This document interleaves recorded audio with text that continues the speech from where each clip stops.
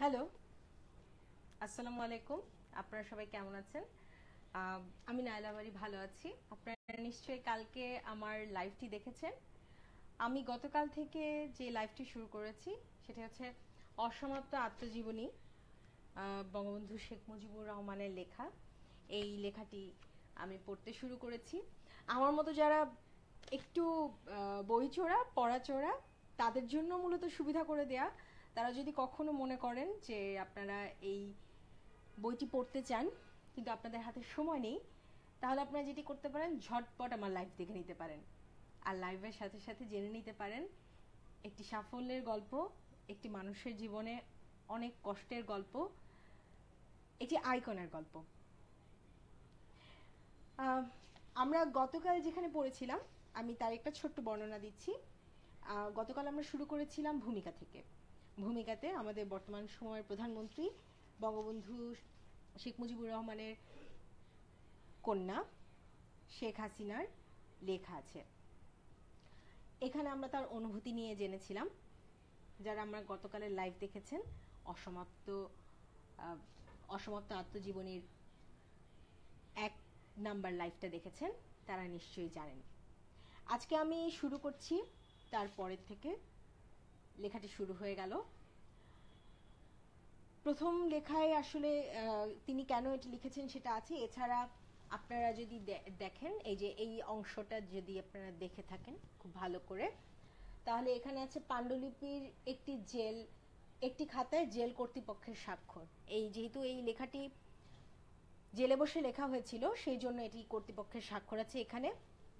এছাড়া এখানে আরও একটি আছে, এই যে জেল কর্তৃপক্ষের স্বাক্ষর। এখানে দুটো স্বাক্ষর দেয়া আছে। আমরা প্রথম থেকেই এই লেখাটি পড়ব। আমরা খুব বেশিক্ষণ নেব না, পনেরো মিনিট পড়ব, যতটুকু পড়তে পারি। আমি শুরু করছি এক নম্বর পাতা থেকে। বন্ধু বান্ধবরা বলে, তোমার জীবনী লেখো। সহকর্মীরা বলে, রাজনৈতিক জীবনের ঘটনাগুলি লিখে রাখো। ভবিষ্যতে কাজে লাগবে। আমার সহধর্মিনী।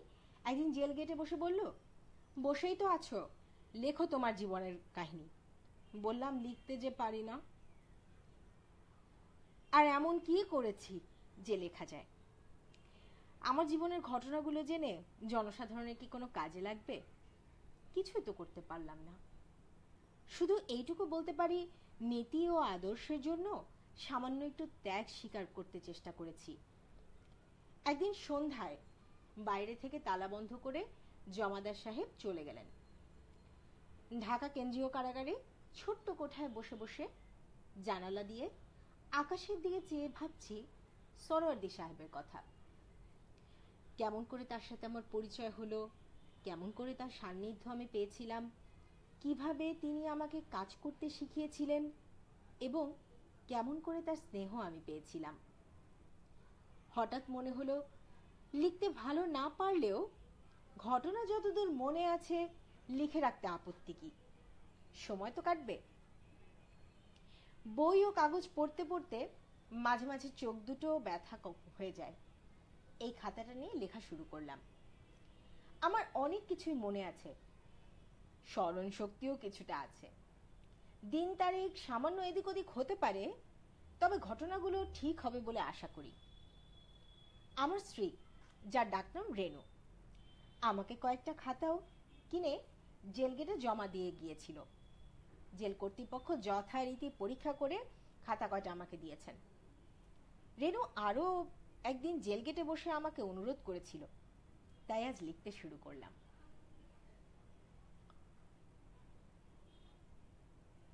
আমার জন্ম হয় ফরিদপুর জেলার গোপালগঞ্জ মহকুমার টুঙ্গিপাড়া গ্রামে।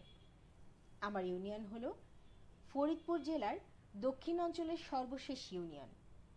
এই ইউনিয়নের পাশেই মধুমতি নদী। মধুমতি খুলনা ও ফরিদপুর জেলাকে ভাগ করে রেখেছে।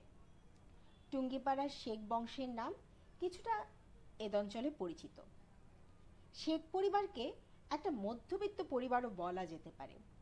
বাড়ির বৃদ্ধ ও দেশের গণমা- গণ্যমান্য প্রবীণ লোকদের কাছ থেকে এই বংশের কিছু কিছু ঘটনাও জানা যায়। আমার জন্ম হয় টুঙ্গিপাড়া শেখ বংশে। শেখ বোরহানুদ্দিন নামের এক ধার্মিক পুরুষ এই বংশের গোড়াপত্তন করেছেন বহুদিন পূর্বে। শেখ বংশের যে একদিন সুদিন ছিল, তার প্রমাণস্বরূপ মোগল আমলে ছোট ছোট ইটের দ্বারা তৈরি চক মিলান দালানগুলো আজও আমাদের বাড়ি শ্রীবৃদ্ধি করে এসছিল। বাড়ির চার ভিটায় চারটা দালান। বাড়ির ভেতরে প্রবেশের মাত্র একটি দরজা। যা আমরা ছোট সময় দেখেছি, বিরাট একটা কাঠের কপাট দিয়ে বন্ধ করা যেত। একটা দালানে আমার এক দাদা থাকতেন। এক দালানে আমার মামা আজ কোনো মতে দিন কাটাচ্ছেন আর এই দালান ভেঙে চুরে পড়েছে। যেখানে বিষাক্ত সর্পকুল দয়া করে আশ্রয় নিয়েছে। এই দাল, এই সকল দালান চুনকাম করার ক্ষমতা আজ তাদের অনেকেরই নাই। এই বংশের অনেকেরই এখন এই বাড়ির চারপাশে টিনের ঘরে বাস করেন। আমি এই টিনের ঘরেরই এক ঘরে জন্মগ্রহণ করেছি। শেখ বংশ কেমন করে বিরাট সম্পদের মালিক থেকে আস্তে আস্তে ধ্বংস, ধ্বংসের দিকে গিয়েছিল, তার কিছু কিছু ঘটনা বাড়ির মুরব্বীদের কাছ থেকে এবং আমাদের দেশের চারণ কবিদের গান থেকে আমি জেনেছি। এর অধিকাংশ যে সত্য ঘটনা এ সম্বন্ধে আমার কোনো সন্দেহ নাই। শেখ বংশের সব গেছে। আজ শুধু তারা পুরনো স্মৃতি আর পুরনো ইতিহাস বলে গর্ব করে থাকেন সে বোরহানুদ্দিনের কথা কোথা থেকে কীভাবে এই মধুমতি তীরে এসে বসবাস করেছিলেন কেউই তা বলতে পারেন না। আমাদের বাড়ির দালানগুলির বয়স দুই শত বছরেরও বেশি হবে। শেখ বোরহানুদ্দিনের পরে তিন চার পুরুষ কোনো ইতিহাস পাওয়া যায় না। তবে শেখ বোরহানুদ্দিন ছেলের ছেলে অথবা দুই এক পুরুষ পরে দুই ভাইয়ের ইতিহাস পাওয়া যায়। এদের সম্বন্ধে অনেক গল্প আজও শোনা যায়। এক ভাইয়ের নাম শেখ কুদরতুল্লাহ আর এক ভাইয়ের নাম শেষ শেখ একরামুল্লাহ। আমরা এখন যারা আছি, তারা এই দুই ভাইয়েরই বংশধর। এই দুই ভাইয়ের সময়ও শেখ বংশ যথেষ্ট অর্থ ও সম্পদের অধিকারী ছিল। জমিদারির সাথে সাথে তাদের বিরাট ব্যবসাও ছিল। শেখ কুদরতুল্লাহ ছিলেন সংসারী ও ব্যবসায়ী। আর শেখ একরামুল্লাহ ছিলেন দেশের সদাচার আচার বিচার তিনি করতেন। শেখ কুদরতুল্লাহ ছিলেন বড় ভাই। এই সময় ইস্ট ইন্ডিয়া কোম্পানি বাংলাদেশ দখল করে এবং কলকাতা বন্দর গড়ে তোলে। ইংরেজ কুঠিয়াল সাহেবরা এই দেশে এসে নীল চাষ শুরু করেন। শেখ কুদরতুল্লাহ সম্পর্কে একটা গল্প আজও অনেকে বলা বলি করে। গল্পটা খানিকটা সত্য। খুলনা জেলার আলাইপুরে মিস্টার রাইন নামের একজন ইংরেজ কুঠিয়াল সাহেব নীল চাষ শুরু করে এবং একটি নীল কুঠি তৈরি করে। আজও সেই কুঠিটা আছে। শেখদের নৌকার বহর ছিল, সেই সব নৌকা মাল নিয়ে কলকাতা যেত। মিস্টার রাইন নৌকা আটক করে মাঝিদের দিয়ে কাজ করাতো। এবং অনেক দিন পর্যন্ত আটকে রাখত। শুধু শেখদের নৌকায় নয়, অনেকের নৌকায় আটকে রাখত। কেউ বাধা দিলে অকথ্য অত্যাচার করত।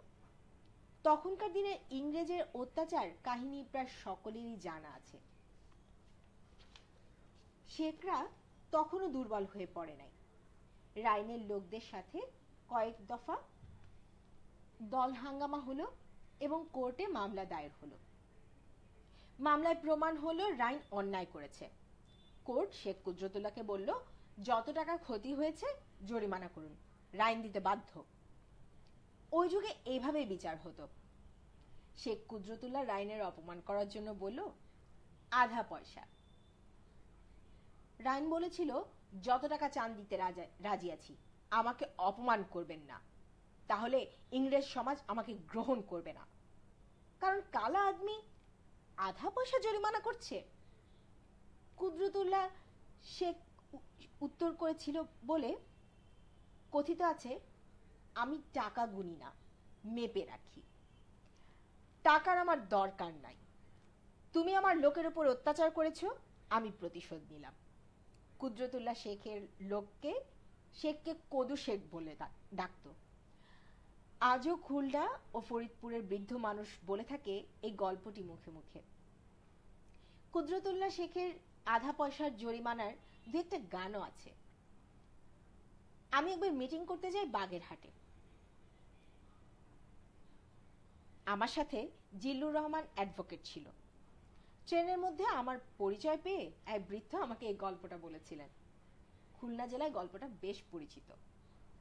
শেখ কুদরতুল্লাহ ও একরাম একরামুল্লাহ। শেখের মৃত্যুর দুই এক পুরুষ পর থেকেই শেখ বাড়ির পতন শুরু হয়। পরপর কয়েকটা ঘটনার পরেই শেখদের অভিজাত্যটা ঠিক থাকল ঠিকই, অর্থ আর সম্পদ সব শেষ হয়ে গেল। ইংরেজরা মুসলমানদের ভালো চোখে দেখত না। প্রথম ঘটনা, রানী রাসমণি হঠাৎ জমিদার হয়ে শেখদের সাথে লড়াই শুরু করলেন। ইংরেজরাও তাকে সাহায্য করল। কলকাতার একটা সম্পত্তি ও উল্টাডাঙ্গার আড়ত। শেখদের সম্পত্তি ছিল। এই সম্পত্তি দেখাশোনা করতেন শেখ আসিমুদ্দিন আবার জমিদারি নিয়েও রাসমণি স্টেটের সাথে দাঙ্গা হাঙ্গামা লেগেই ছিল। শেখ বাড়ি থেকে তিন মাইল দূরে শ্রীরামকান্দি গ্রামে তমিজুদ্দিন নামের এক দুর্ধর্ষ লোক বাস করত। সে রাসমণি স্টেটের পক্ষ অবলম্বন করেছিল। সে ভালো যোদ্ধাও ছিল। একবার দুপক্ষে খুব মারামারি হয় এতে রানীর রাসমণির লোক পরাজিত হয়।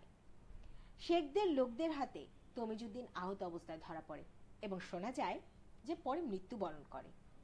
মামলা শুরু হয়, শেখদের সকলেই গ্রেফতার হয়ে যায়। পরে বহু অর্থ খরচ করে হাইকোর্ট থেকে মুক্তি পায়। এরপরেই আরেকটি ঘটনা হয়। টুঙ্গিপাড়া, শেখবাড়ির পাশেই আরেকটি পুরনো বংশ আছে। যারা কাজী বংশ নামে পরিচিত। এদের সাথে শেখদের আত্মীয়তা আছে। আত্মীয়তা থাকলেও রেশারেশি কোনোদিন যায় নাই। কাজীরা অর্থ সম্পদ ও শক্তিতে শেখদের সাথে টিকতেও পারে নাই। কিন্তু লড়ে গিয়েছে বহুকাল। যে কাজীদের সাথে আমাদের আত্মীয়তা ও ঘনিষ্ঠতা ছিল, তারা শুধু শেখদেরকে সমর্থন করত। কাজীদের আরেকটা দল, রানী রাসমণির সাথে যোগদান করে। তারা কিছুতেই শেখদের আধিপত্য সহ্যই করতে পারছিল না। তাই তারা এই জঘন্য কাজের আশ্রয় নিল শেষ পর্যন্ত। অধিকাংশ কাজই শেখদের সাথে মিশে গিয়েছিল। একটা দল কিছুতেই শেখদেরকে শেষ না করে ছাড়বে না ঠিক করেছিল। বৃদ্ধ এক কাজী নাম সিরাজতুল্লাহ কাজী। তার তিন ছেলে ও এক মেয়ে। ছেলেরা এক ষড়যন্ত্র করে এবং অর্থের লোভে বৃদ্ধ পিতাকে গলা টিপে হত্যা করে। শেখ বাড়ির গরুর ঘরের চালের ওপরে রেখে যায়। এই ঘটনা শুধু তিন ভাই এবং তার বোনটা জানত। বোনটাকে ভয় দেখিয়ে চুপ করিয়ে রেখেছিল। শেখ বাড়িতে লাশ রেখে রাতারাতি থানায় গিয়ে খবর দেয় এবং পুলিশ সাথে সাথে এসে লাশ বের করে দেয় এবং বাড়ির সকলকে গ্রেফতার করে নিয়ে যায়। এতে শেখদের ভীষণ বাজে একটা অবস্থার সম্মুখীন হতে হয়। আমার দাদার চাচা এবং রেনুর দাদা বাবা কলকাতা থেকে নিজেকে দেউলিয়া ঘোষণা করে আসেন বাড়িতে। কলকাতার সম্পত্তি শেষ হয়ে যায়। তারপর যখন সকলে গ্রেফতার হয়ে গেছে, কেউই দেখার নেই। বড় বড় ব্যবসায়ী, মাঝি ও ব্যাপারীরা নৌকা ডুবিয়ে দিয়ে উধাও হতে শুরু করল। এর পূর্বে তমিজুদ্দিনের খুনে যথেষ্ট টাকা খরচ হয়ে গেছে। জমিদারিও নিলাম হয়ে প্রায় সবই চলে যেতে থাকল। বহুদিন পর্যন্ত মামলা চলল। আমাদের অ্যাডভোকেট হাইকোর্টে দরখাস্ত করে সিআইডি দ্বারা মামলা করে ইনকোয়ারি করাতে। কিন্তু এই মামলা ষড়যন্ত্রমূলক। হাইকোর্ট মামলা দেখে সন্দেহ করল, আবার ইনকোয়ারি শুরু করল। একজন অফিসার পাগল সেজে আমাদের গ্রামে যায় আর খোঁজ খবর নেয় একদিন রাতে সিরাজতুল্লাহ কাজীর তিন ছেলের মধ্যে কি নিয়ে যেন একটা ঝগড়া হয়। আচ্ছা কি নিয়ে যেন একটা ঝগড়া হয়? ঝগড়ার পরে কি হয়? মজার ঘটনাটা কিন্তু এইখানে। ঝগড়া হলে আসলে যা হয়, একজন কথা আরেকজনকে বলে দেয়, এটা পরিবারের ব্যাপার। এইখানেও কিন্তু সেখানে একই রকম ঘটনা ঘটে। কথায় কথায় একজন আরেক ভাইকে, এক ভাই আরেকজনকে বলে দিল, বলেছিলাম না, শেখদের কিছু হবে না, বাবাকে অমনভাবে মারা উচিত হবে না। যা হয়, সাথে সাথে অন্য ভাই বলল, তুই তো গলা টিপে ধরেছিলি, না হলে তো বাবা মারা, তাই তো বাবা মারা গেল। এরপর আর কি, বোনটা তখন বলল, বাবা তো একটু পানি চেয়েছিল, তুই তো তাও খেতে দিলি না। সিআইডি এই কথা শুনতে পেল। আর ওদের বাড়ির পেছন থেকে পালিয়ে পালিয়ে মানে এই কথা শুনে গিয়ে কি করল? সব কিছু জানিয়ে দিল। তারপর তিন ভাই আর বোন গ্রেফতার হয়ে গেল। শুধু তাই না, পরবর্তীতে তারা স্বীকার করতে বাধ্য হয়েছে যে তারাই তাদের বাবাকে হত্যা করেছে। শেখরা মুক্তি পেয়ে গেল যাবজ্জীবন, আর ওদের কি হলো? যাবজ্জীবন জেল হয়ে গেল। শেখরা মামলা থেকে বাঁচল, কিন্তু সর্বশান্ত হয়ে বাঁচল।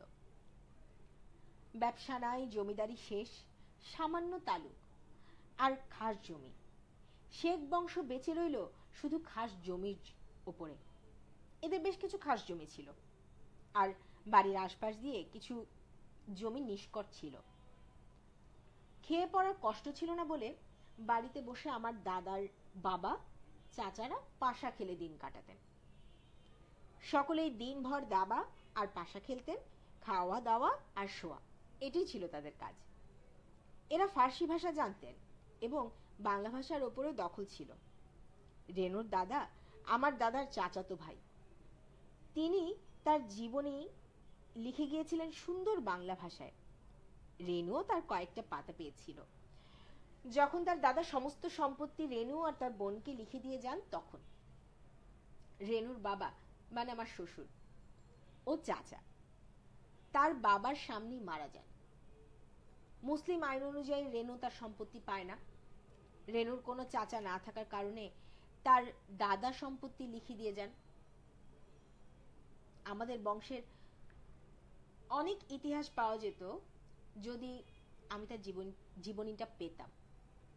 কিন্তু কে বা কারা সেটা গায়েব করেছে বলতে পারব না। কারণ অনেক কথাই বের হয়ে যেতে পারে। রেনু অনেক খুঁজেছে, কিন্তু পায়নি। এরকম আরও অনেক ছোটখাটো গল্প আছে। কতটা সত্য, কতটা মিথ্যা বলতে পারি না। বইটা পড়ে আমার আরেকটা মজার জিনিস মনে হয়েছে। ঠিক মজার না, আমার খুব ভালো লেগেছে। কত সহজ, সরল ভাষায় একটা মানুষ তার অতীতকে লিখতে পারে, তার পরিবার সম্পর্কে বলতে পারে। কোনটা পাওয়ার ছিল, কোনটা না পাওয়ার ছিল কি কি ছিল কি ছিল না, কেন হারিয়েছে, এই যে বিশ্লেষণগুলো দেখতে পারা, দেখতে পারার ক্ষমতা আমাদের কিন্তু নেই। আমরা অনেকেই আছি, এখন নিজেদেরকে নিয়ে অনেক গর্ব করি, নিজেদের সম্পর্কে অনেক বড় বড় কথা বলি, আমার এটা, আমার পরিবার ওটা, আমার বাবা এটা, আমার বাবা সেটা, অনেক কিছুই বলি।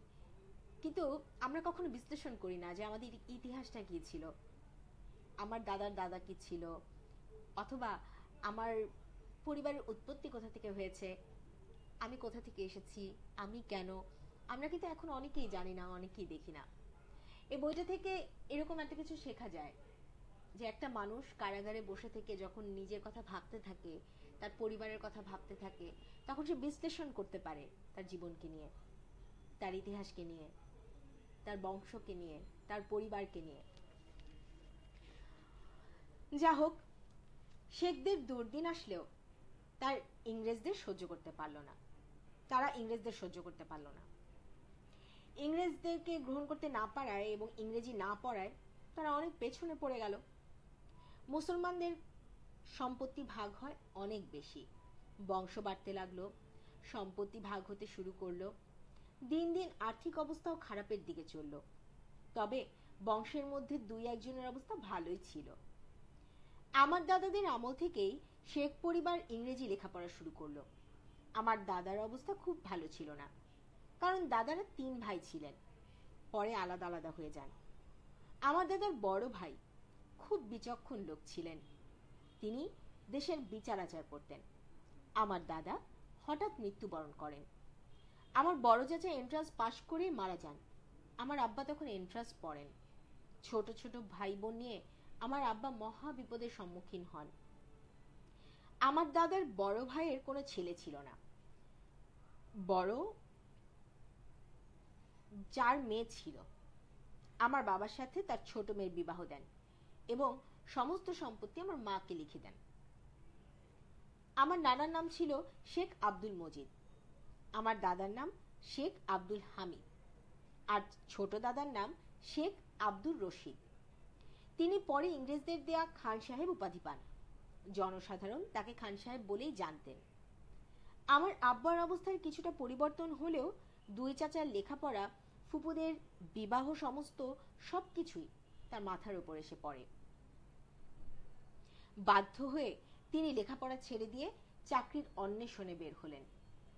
মুসলমানদের তখনকার দিনে চাকরি পাওয়া খুব দুষ্কর ছিল। শেষ পর্যন্ত দেওয়ানি আদালতে একটা চাকরি পান। পরে তিনি সেরেস্তাদার হয়েছিলেন। যেদিন আমি ম্যাট্রিক পাশ করে কলকাতা ইসলামিয়া কলেজে পড়তে যাই, আমার আব্বাও সেদিন পেনশন নিয়ে বাড়ি চলে আসেন। একটা ঘটনা লেখা দরকার, নিশ্চয়ই অনেকেই আশ্চর্য হবেন। আমার যখন বিবাহ হয়, তখন আমার বয়স বারো তেরো বছর হতে পারে। রেনুর বাবা মারা যাওয়ার পরে ওর দাদা আমার আব্বাকে ডেকে বললেন তোমার বড় ছেলের সাথে আমার এক নাতনির বিবাহ দিতে হবে। কারণ আমি সমস্ত সম্পত্তি ওদের দুই বোনকে লিখে দিয়ে যাব। রেনুর দাদা, আমার আব্বার চাচা। মুরব্বীর হুকুম মানার জন্যই রেনুর সাথে আমার বিবাহ রেজিস্ট্রি করে ফেলা হলো।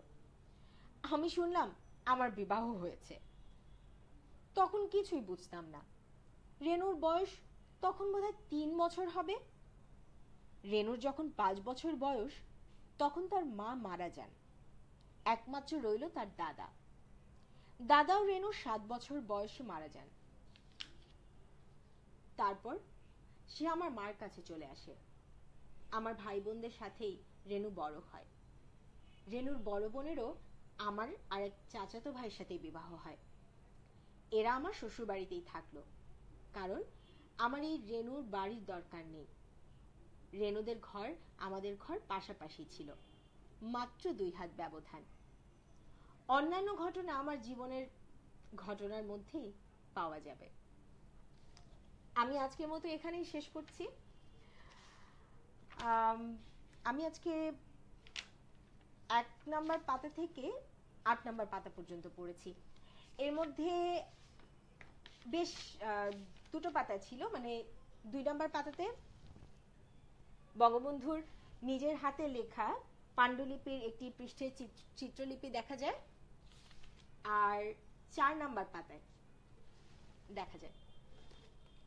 খুব সাধারণ লেখা অবশ্যই লেখা পড়তে আমার অসুবিধা হচ্ছে, কিন্তু মনে হয় ছুঁয়ে দেখছি।